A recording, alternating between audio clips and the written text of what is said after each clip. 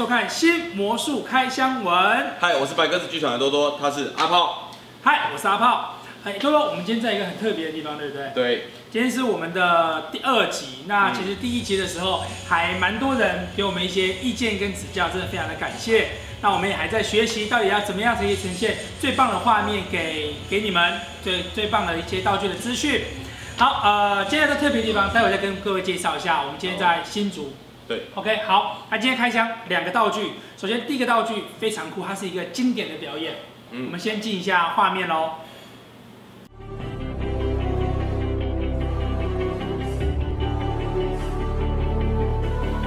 好，在画面上面你们可以看到，它是用一个非常生活化，就是用一个眼镜的呈现一个效果，那搭配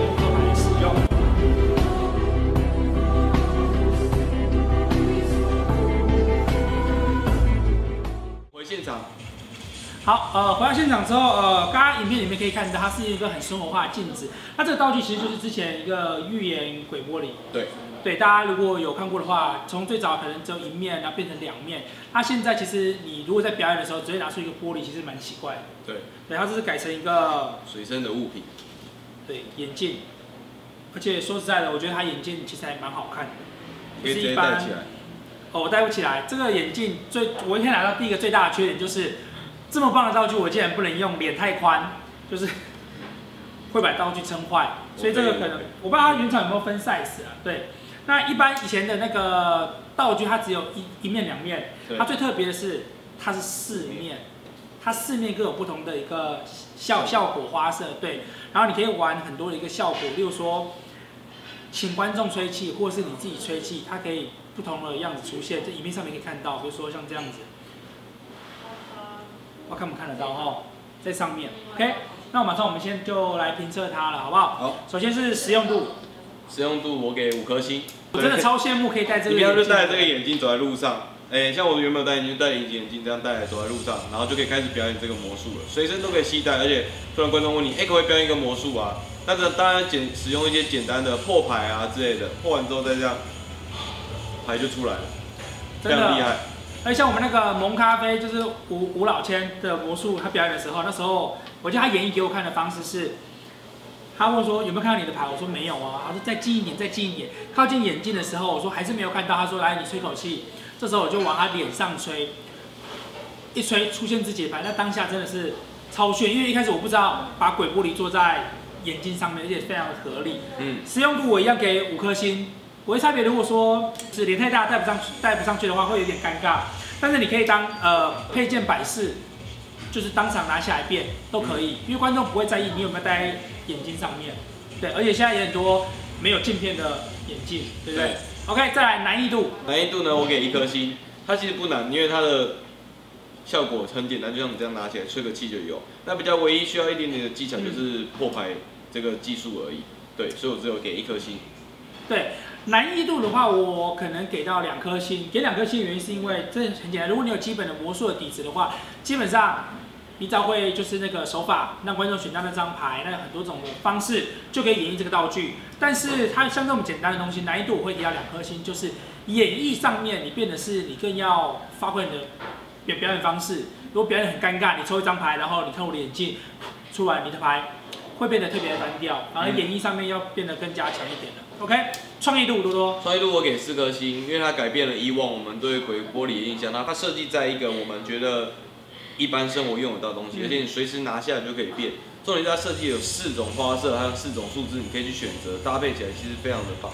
嗯，呃，创意度其实我很满两级，就是基本上我给一颗星，就是因为我在很早很早之前的时候，我就觉得拿一块玻璃出来很奇怪，就是道具。我本来就有想过，它是不是可以设计在我们一般的玻璃上面，就像眼镜。我本来就想过，只是他们现在出来了。那创意度另外一方面我也给蛮多的，就是整体给一颗星啦。嗯。因为我觉得四面其实有点多。嗯。但是它其实又是一个很棒的创意，就是观众不会觉得说你怎么每次都变那个花色点数之类的。对。所以创意度其实还蛮有的。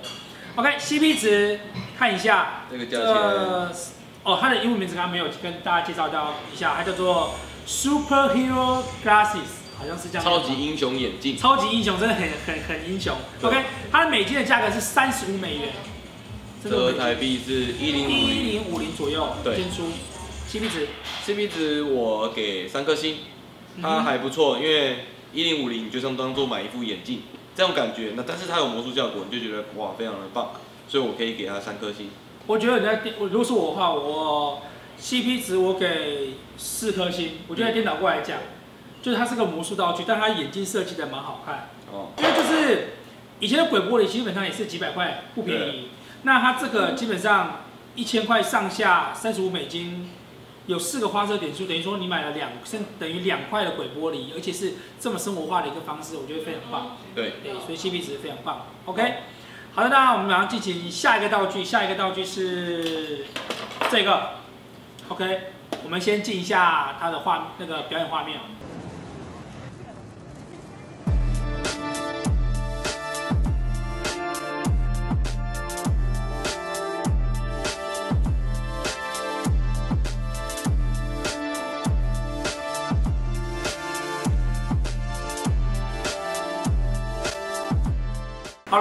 了，刚刚影片可以看到，它是一个很视觉化的一个，任何东西都可以穿过保特瓶的一个效果，对，对不对？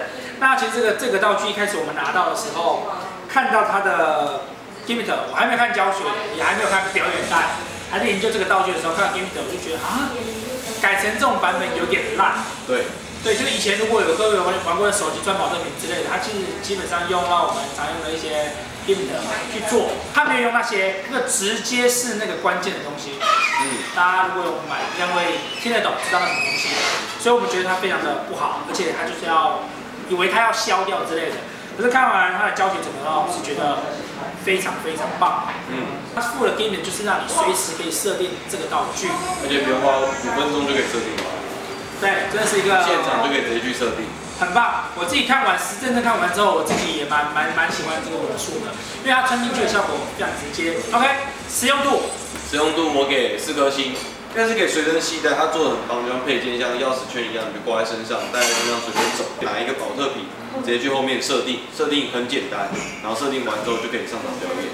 对，实用度的话，我给我给五颗星，因为这个东西它真的可以直接去做表演的，而且是一个你把不是秘密道具，而是说你把设定道具随时设定在身上，而且它的那个方法我觉得还真的蛮棒的，效果就这样直接的穿进去，而且最棒的是你可以在表演之前把保特瓶整个让观众拿着，让他检查稍微看一下杯底就是保瓶底啊之类的都没有任何的一些缺口或者是觉得有奇怪的地方，非常棒，使用度五颗星。难易度，难易度我给三颗星，因为你设定的时候其实它需要一些技巧啊，而且那个东西毕竟有点危险嘛，你带在身上啊，然后你要去设定的时候就是要小心，不要，因为有时候设定的时候会很紧张，然后就是会不小心割到自己啊之类的，就是要小心就对了。然后设定好之后，表演的技巧也是需要训练的，因为毕竟它是从平底穿进去，它是跟以往比较不一样，它从保乐瓶的平底这样子进去。那就是演绎的方式需要自己去做一些调整，对，所以我给三颗星。对，难易度基本上呃普通一个多，我给三颗星。那一样，他刚刚都会讲那个平底进去，那是视觉的一个效果。对，它其实有有你稍微要练习一下，它并不是其实讲实在，它不是从平底，可是它就是那个它的整个秘密的方法是从平底感觉直接进去，而且它的我觉得难易度有放一个重点是你要穿什么进去。对，笔呀。它里面里面还有嘴哨什么之类的生活很多用品都可以，难易度一样，创意度，创意度我给三颗星，因为我觉得它还不错的是，它虽然从同样差不多的地方进去保乐瓶，可是它的它有让你感觉到一个视觉效果，就是从它是从平底这样子整个掉下去的。那它的设定方法呢，就是它改变了一般魔术说你带的就是一个道具，它是带了一个你可以去制作道具的东西。你随手得到一个东西就可以直接拿来做道具，就等于是你现场拿到的东西就是道具，而且它可以给观众检查，所以我觉得这个创意度非常的不错，所以我给三颗星。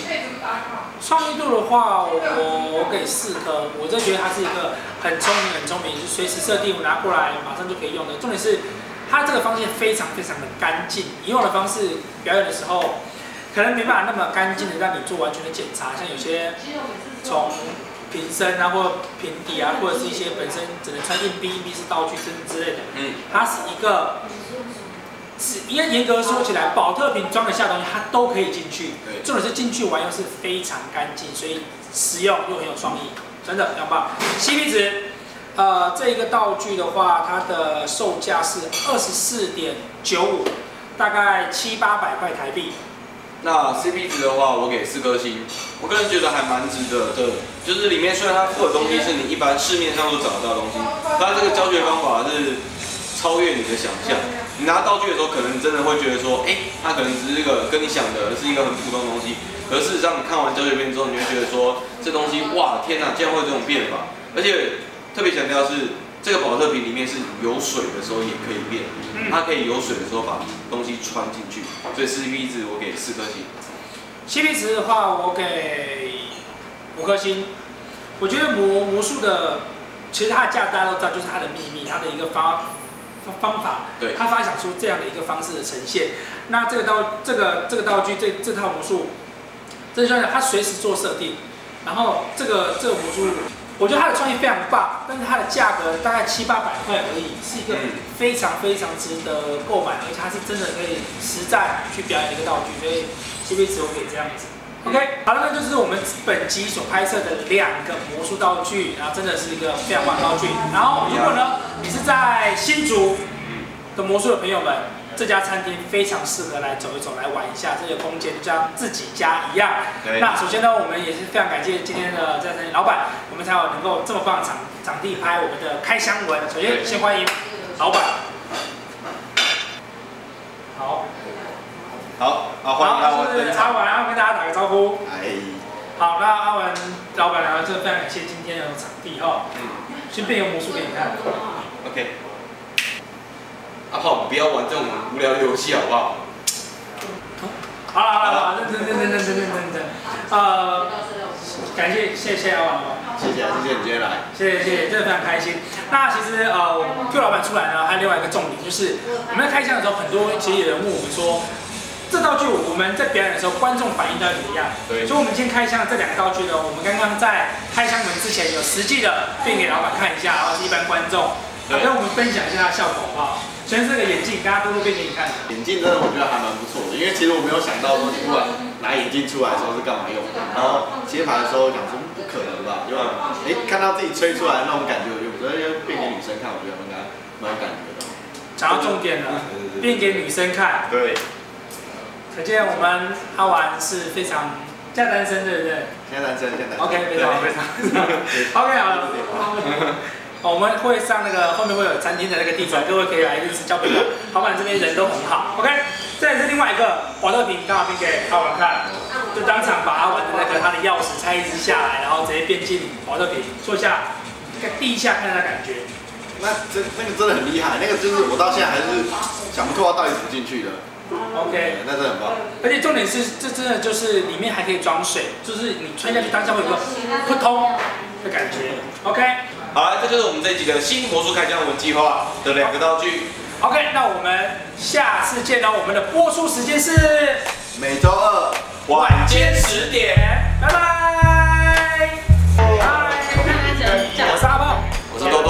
啊，前面几集呢都没有好好介绍一下我自己，今天呢，我们自己稍微介绍一下，多多介绍一下自己。我是多多。平常变魔术之余呢，我是一个影像工作者，拍 MV 啊，拍微电影啊，然后拍一些婚礼记录的。摄影师本人。OK，那我是阿炮。那我平常呢在表演魔术之余呢，我是一个呃网络粉丝专业的经营者。那我经营了一个粉丝专业在新竹在地的一个粉丝粉丝团，那就是介绍新竹的在地吃吃喝喝的一个节目。那有机会来新竹都可以来找我，我们可以一起开箱魔术道具，一起来享用新竹在地的美食。那我们大家就是说享用这边 Piso 派对主题餐厅，他们这边的咸派非常非常的特别，海鲜手绘咸派，就是这个。废话不多说，下次见，请你吃一份哦，拜拜。下次见。